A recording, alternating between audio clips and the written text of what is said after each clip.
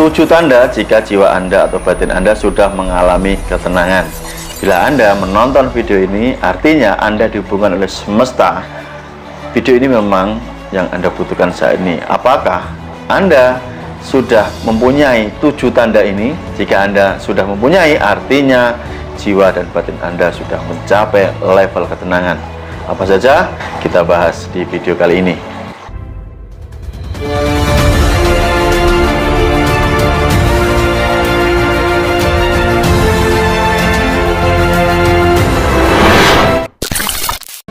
Saya melanjutkan videonya buat sahabat semua, buat para teman-teman semua yang menonton di YouTube silahkan yang belum subscribe Anda subscribe dulu.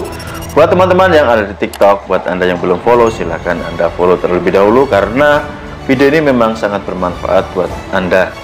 Dan saya akan kembali buat Anda yang sudah tergabung di kelas privat My Hypnotis bersama saya. Saya ucapkan banyak terima kasih buat teman-teman yang tergabung ataupun buat teman-teman yang ingin membeli e-book kitab Hipnotisnya teman-teman bisa kontak nomor WA yang saya berikan di kolom video atau Anda bisa baca di deskripsi di bawah video Oke teman-teman, kali ini saya akan membahas tentang tujuh tanda bahwa Anda sudah mengalami kebangkitan spiritual.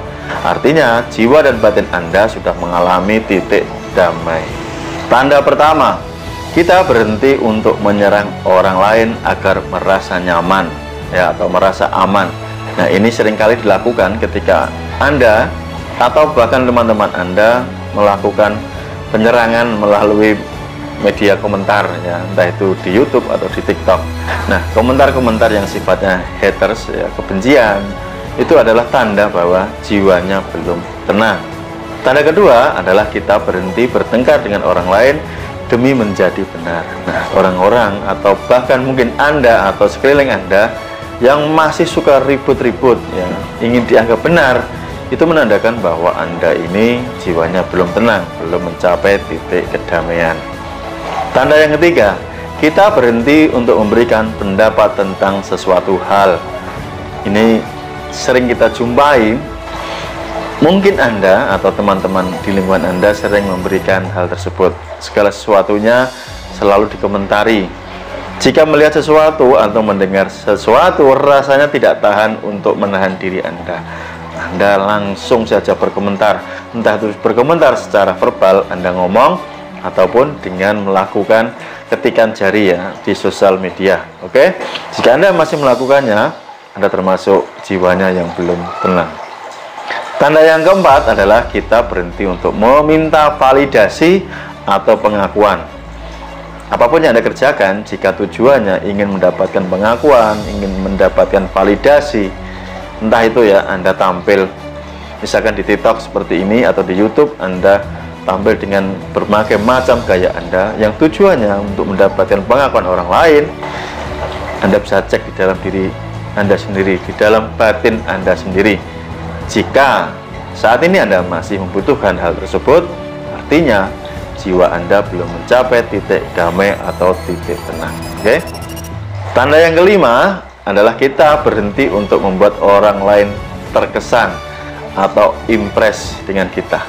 Sebenarnya apa pun yang kita lakukan, asal Anda bisa fokus dengan diri Anda sendiri, tidak mengharapkan orang lain terkesan dengan Anda, Anda akan melakukannya dengan sangat nyaman, santai, dan damai.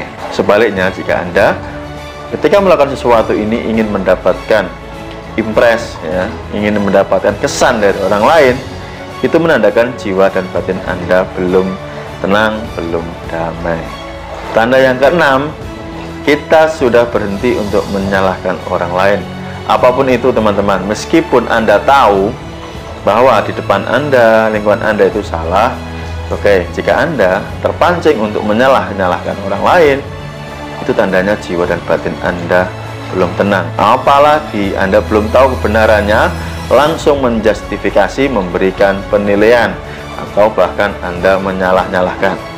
Oke, terang terakhir atau yang ketujuh, kita berhenti untuk mengisi pikiran-pikiran kita dengan hal-hal yang negatif. Bila Anda saat ini masih mengisi pikiran-pikiran Anda dengan hal-hal negatif, kebencian, iri, dengki, dan hal-hal negatif lainnya, kemarahan barangkali. Nah, itulah yang membuat Anda jadi tidak tenang. Semoga ini membantu Anda buat Anda semuanya yang menonton video ini. Silahkan saya tunggu di kelas Mahir Hipnotis bersama saya. See you next time. Bye bye. Salam hipnosa. Cheers.